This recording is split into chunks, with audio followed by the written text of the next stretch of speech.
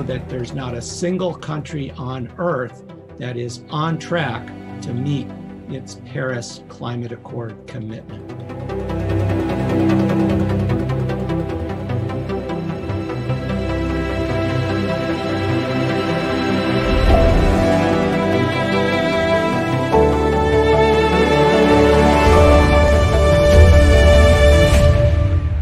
So, is there any hope here?